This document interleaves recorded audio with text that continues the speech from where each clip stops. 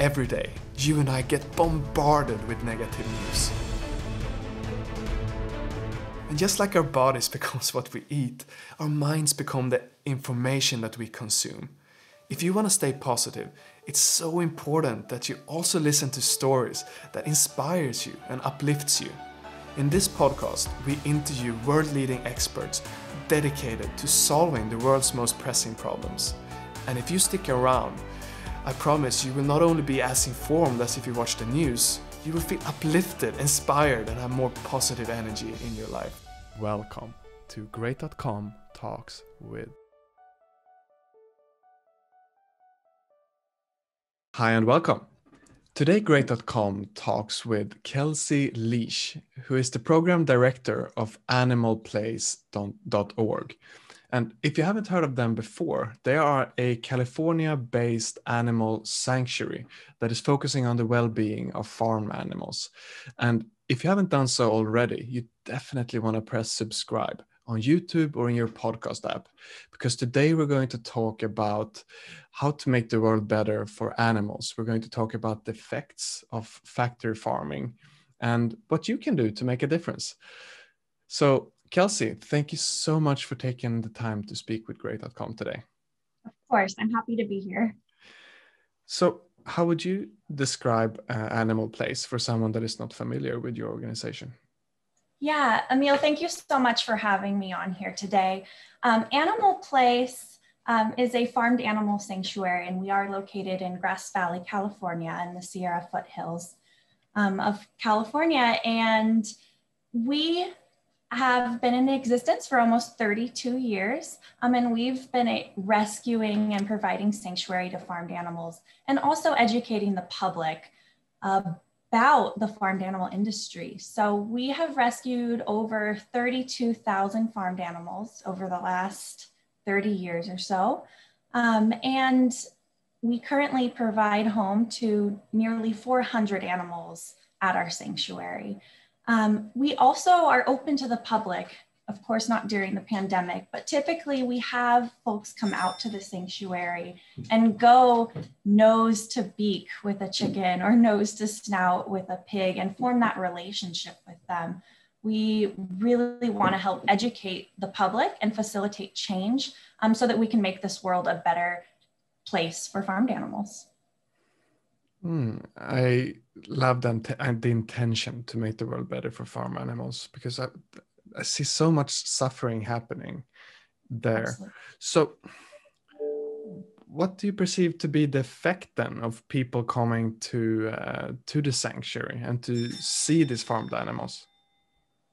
Yeah, there's we definitely see change um, in people and their actions. Um, a lot of times, people in our society, the only relationship they have with a farmed animal, a pig or a cow, is on their dinner plate.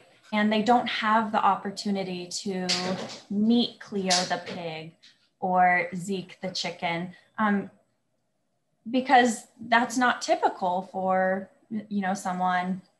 They typically grow up with a dog or a cat. So we like to give them that opportunity to meet Cleo the pig, and um, see that she has emotions just like their dog or cat at home. They can feel sadness, happiness, um, sorrow, excitement. Um, they feel all the same emotions that humans do. Um, so, giving them the opportunity to learn that um, and make a connection, um, build a friendship with these animals that really does help with facilitating change. Um, they, we do take surveys after our tours, um, and a lot of people say that they're going to cut animal products out of their diet or they will stop eating the flesh of animals.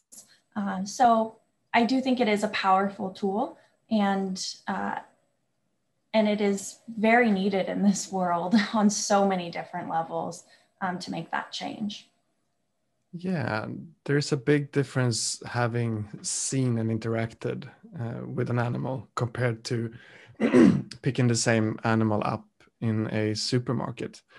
So exactly. I got curious, what does a rescue uh, look like for you guys? Do where do you rescue them from? Uh, how does it work?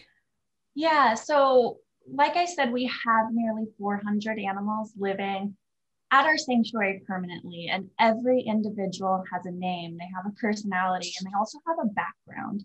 Um, so they could have come from a cruelty case and were rescued by animal control, um, and we were able to take them in. They could have come from the dairy industry, um, the meat industry. So every individual has their own background. But we also, one of Animal Place's really amazing programs, uh, it's near and dear to many of our hearts, is our rescue and adoption program. We rescue three to 4,000 animals a year. Um, they're primarily hens from the egg industry. Uh, and we're able to go in um, and legally liberate, with the permission of the farmer, thousands of birds a year and then find them homes. Um, so back to your question, what is it like on these rescues or how do we accomplish this? Um, in the egg industry, farmers use the term depopulate, uh, which is their term for killing birds at about a year and a half of age. Um, these chickens can live, you know, up to 10 years of age and they're killed at just a year and a half. They are babies. Um, and that's because their egg production has slowed down and um, they're no longer profitable to the industry. And their solution to that is to just kill them. Uh, and we, we offer an alternative to the farmers um, and offer to go in and take these birds who they would kill and um, take them into our facility, rehabilitate them, and then find them placement in forever homes.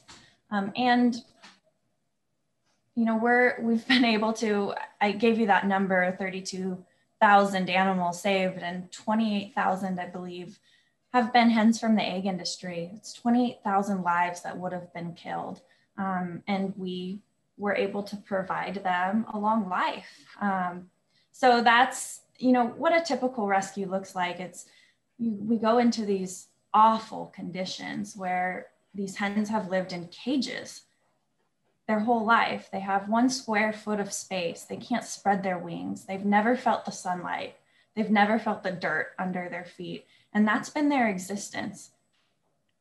They've never been able to be a chicken. And we're able to take them out of that horrible horrible environment and and let them be chickens for the first time to feel the dirt to feel the sun on their feathers uh, and then provide them a life after that um, so it's pretty uh, moving that experience um, and then you know we have so many other animals who've been rescued from just as dismal um, existences and provide them sanctuary. Hmm. Yeah, the contrast you're painting, uh, these um, cages compared to the life I assume they have, either at your farm, your sanctuary, or the people that might be adopting those chickens. It, it's really a stark contrast. So, what are your hopes for because I can understand that there must be a frustration in that you managed to save 32,000 animals, but I guess that many animals are being slaughtered every day, probably just in the US. So, absolutely. What, what are you trying to do when it comes to affecting people's uh, mindset or policy to help animals? Yeah, that's a really wonderful question. It's a big part of what Animal Place does. Um, I say these numbers, and they are uh, astonishing to people um, to hear. You know, 32,000 lives saved. That's huge. But in all honesty and in reality, that is a very, very small number um, in comparison to the animals that are killed daily um, in our world. And in the United States alone, just in the United States, 10 billion land animals are killed every single year um, for human consumption. 10 billion? 10 billion. And most of those are chickens um, who are killed for their flesh.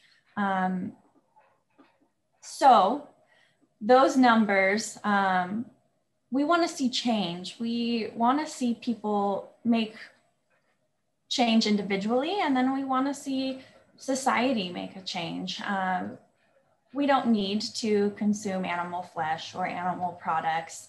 Uh, you can live a healthy and happy life on a plant based diet. Um, so we do promote that and we educate people on why, the effects of animal farming, uh, what it's doing to our environment, our health, um, but most importantly, the animals that it's affecting. So uh, um, when we are open to the public, that's a big part of, of what we do is educating. People come, uh, they go through our Museum of Animal Farming and they learn the realities of what industrialized animal farming looks like. Um, and then they get to meet the animals and make that connection that I described earlier. Um, so education is huge in what Animal Place does and our mission and helping facilitate that change and in turn helping farmed animals. So my guess is that a lot of people think the way the animals live on Animal Place is the way most chickens live. And the reality is 99.99% of the chickens probably live in the darker yeah. conditions. So, how are people reacting then when they get educated about what reality looks like? Sure. If we take it back to just the egg industry, I think that's a easy picture to paint for people because you hear free range or cage free egg farms. And through our uh, rescue program, I personally have been to these cage free or free range organic egg farms. And it's not it's not a great life. It's not what we see in the commercials. Um, these animals are still killed. They're still killed at a year and a half old. And if you look at um, hens in the egg industry, what happened to the roosters? What happened to the male chicks? Uh, 50% of chickens hatched have a chance of being male or female. Um, and a rooster cannot produce eggs. So they're of no use to the egg industry and they are killed right after they're hatched. Um, typically, they're either suffocated or, I'm, I'm, sorry to be graphic, but this is the reality of what we're doing to these animals. They're ground alive. Uh, and so when people say, you know, I'm, I'm just eating an egg, no animal was killed for this egg, that's not true. 50% of those lives were killed immediately after being hatched. And then they're killed, the females, at just a year and a half to two years of age. Um, they're still so young and have so many years left to live. Um, so even on free range egg farms, you're seeing those atrocities for these animals and these individuals. Um, and a cage free egg farm, that could mean they're still in a dank shed where they don't see light, where they don't have any more space. There's just no caged walls around them. Um, they are still going to have a square foot of space. The farmers are going to put as many individuals as they can in that space legally um, and it's not a good or happy existence. And we've done a rescue. We rescued 500 hens from an organic egg farm, and they were some of the sickest individuals we've ever rescued. They were so sick because they hadn't received vaccines or antibiotics, and they were so sick we couldn't even adopt them out. Um, the veterinarians, they all recommended euthanizing all 500 of these birds. They could never be integrated into any other flock because they were so sick. We had a generous donor build a barn for them and a space for them. Um, and for years, we've been, our animal caregivers have been putting isolation gear on daily to care for them. Um, so it is, you know, the the industry gives terms to make people feel better or to think it's okay to eat these animal products, but in reality, the, the animals are suffering just as much, if not worse. Right. So, from your point of view, then, is there a way to ethically eat animals, or um, yeah, is there just no way to uh, consume meat in an ethical way?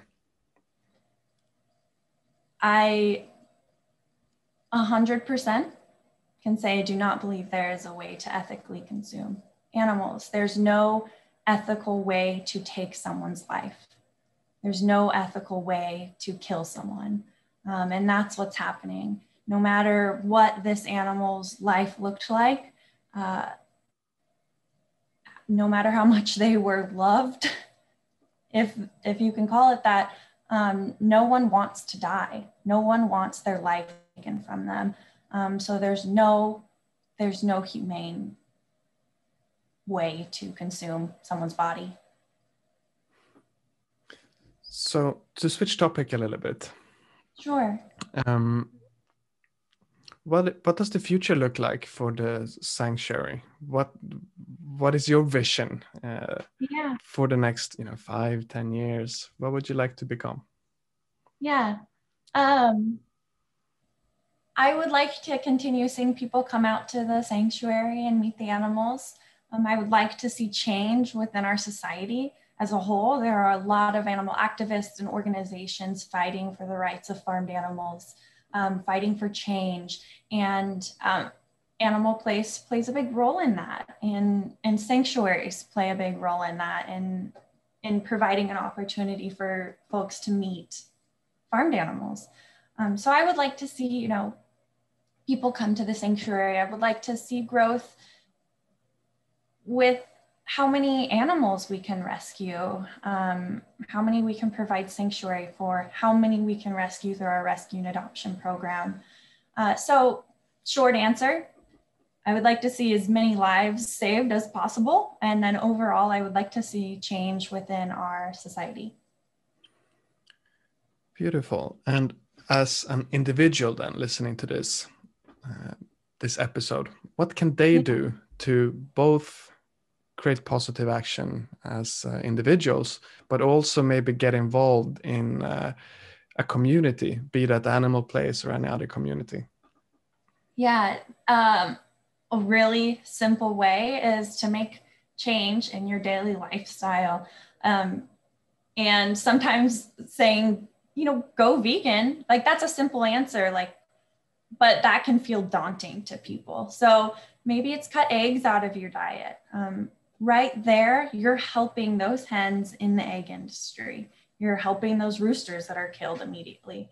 Cut out cow milk, um, replace it with almond milk or soy milk.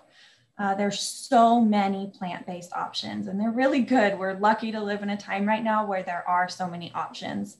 Um, and then eventually work your way to going vegan. You, you can really make, each individual can make a difference by doing that. Um, also, you know, volunteer at your local farmed animal sanctuaries, sanctuaries.org. Um, people can go there and find a sanctuary that's close to them, volunteer, donate. If you're able to donate to animal place or any other sanctuary, that really does make a difference. That makes a direct difference in saving lives. Um, so volunteer, donate, go vegan, um, take small steps like cutting egg out of your diet. They really do have an impact. Hmm, yes, Kelsey Leach, thank you so much for taking the time to speaking with Great.com today about uh, animal welfare. Absolutely. Thank you, Emil. Thank you. And uh, for you listening, if you enjoyed this, press subscribe on YouTube or in your podcast app, because that will show your podcast service that this is an important interview. And that means more people can hear about how we can make the world better for animals. Thank you so much for listening, and we'll see you in the next episode.